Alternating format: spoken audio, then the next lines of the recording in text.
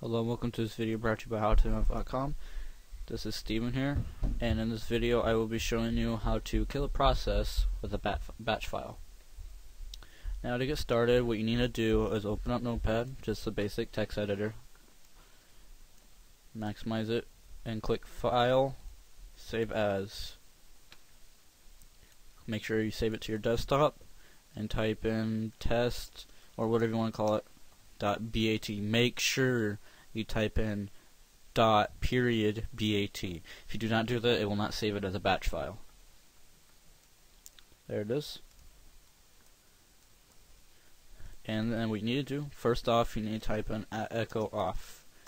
Um, give it a couple spaces, and type in task kill forward slash f space forward slash im.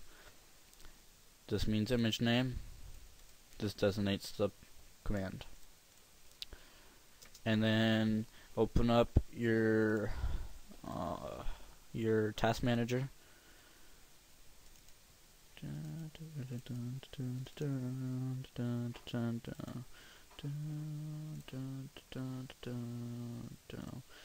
And then just go through here. Type in, just look for a process and look at the image name. Just look for just look for a process you might want to close. Um, I'm just going to type in Notepad as an example. Notepad.exe. Make sure you add the exe.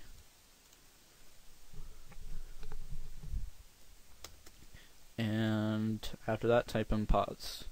Um, you can do this with more than one. You could have as many as you want. You could have 200. Take a while, but it'd work. Um, I don't think you'd ever have 200 processes at once on your computer, but it'd work. Alright, make sure you save it.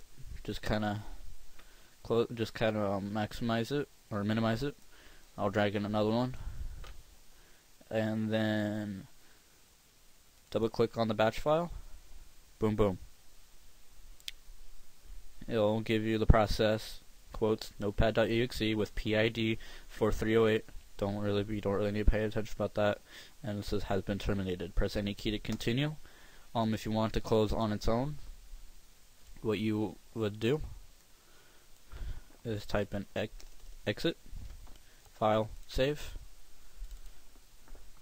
and it exits command prompt on its own.